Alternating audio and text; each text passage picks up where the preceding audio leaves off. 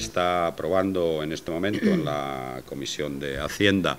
del Ayuntamiento de Fuenlabrada, que hemos tomado la decisión de llevar al Pleno una modificación presupuestaria de 100.000 eh, euros para cubrir durante el mes de julio y agosto el tema de eh, las ayudas a comedor eh, de los niños y las niñas de Fuenlabrada que estaban ya siendo ayudadas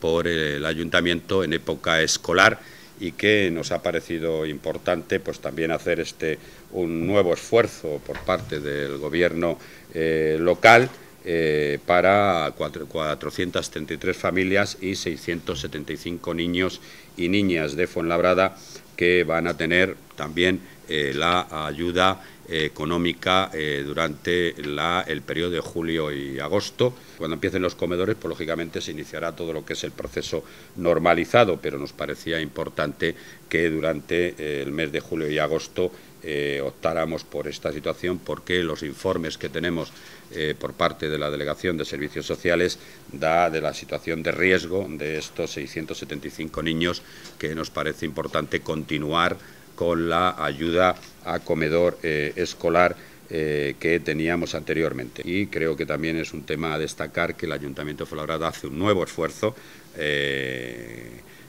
no respondido por parte de otras eh, administraciones que deberían de hacerlo, como es el caso de la Comunidad Autónoma de Madrid, pero no podemos dejar que el riesgo que puedan tener estos niños y estas niñas durante el periodo estival de las vacaciones eh, escolares. Quería también aprovechar esta, la ocasión pues, para comentar este tema que me parece relevante.